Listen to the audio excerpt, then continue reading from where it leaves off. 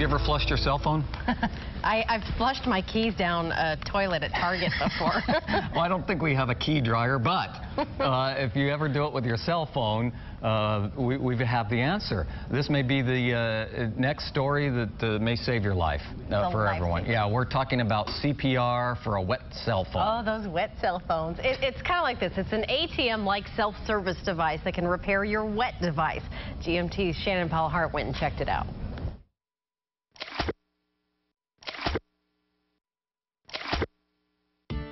If you own a smartphone, it's bound to happen. You drop it in a tub of water, a toilet, a swimming pool, and the old rice trick, it can work. However, there is something new and improved to help you dry out your phone.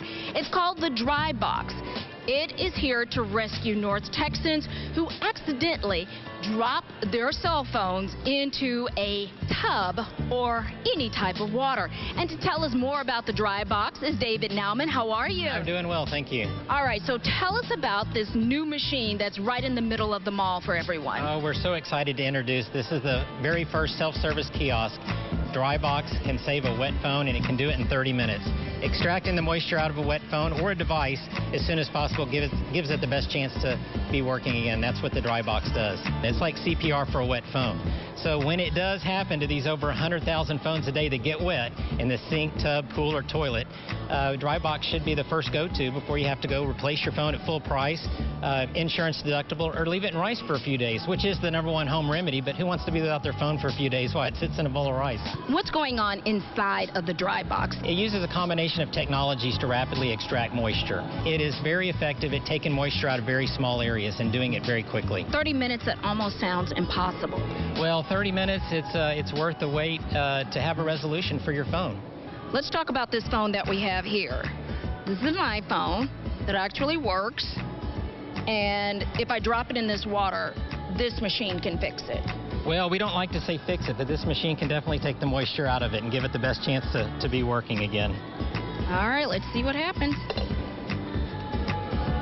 The DryBox uh, has two chambers, so it can dry two phones at once. The customer will come up, they'll touch the Dry My device, enter in the email address which serves as their receipt, and the phone will stay secure in the chamber the whole time.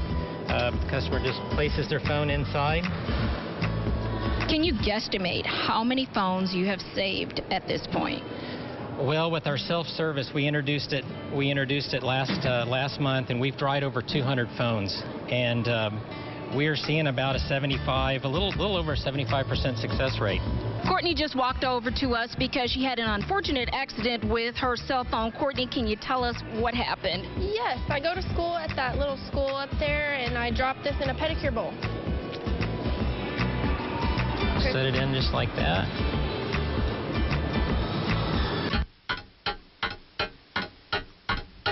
All right, Courtney, so are you ready to see if your phone works or not? Yes. Okay, go right ahead.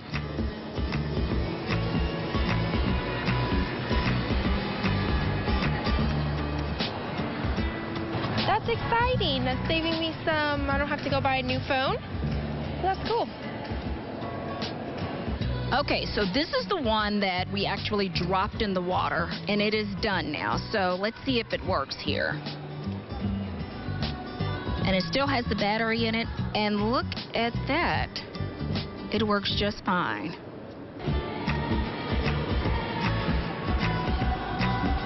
And there you go. It works. Right now, the DryBox is only at Vista Ridge Mall.